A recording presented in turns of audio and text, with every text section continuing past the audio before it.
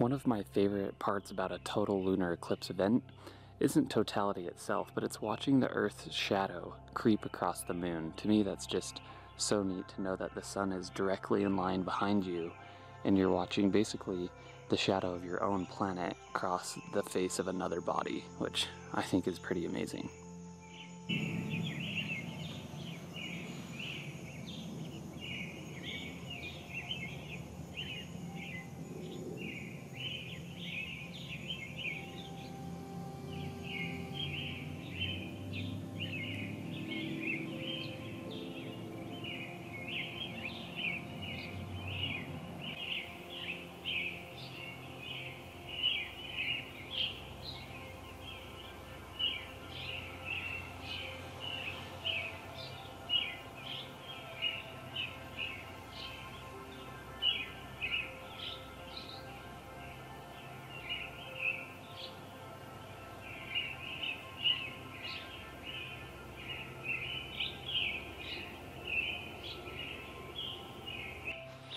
So this is my first time experiencing this, but with the moon so low on the horizon for me, the decrease in brightness, it's actually disappeared altogether. So the only way I can see it is if I take a long exposure image. I can't even see it with my own eyes, which is really interesting.